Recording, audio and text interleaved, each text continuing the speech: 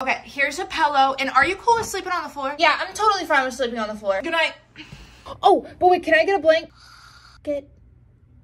Wait, now what am I supposed to do? Should I wake her up? Should I not wake her up? I don't know. This is my first time at her house. I don't know. I am literally so cold right now. You know what? Screw it. I'm gonna wake her up.